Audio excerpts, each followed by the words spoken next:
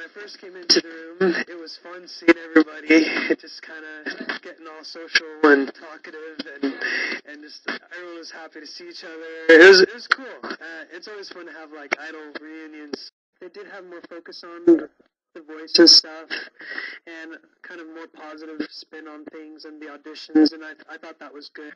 The show definitely was kind of like training for what was to come ahead, even though you didn't know what was going to come.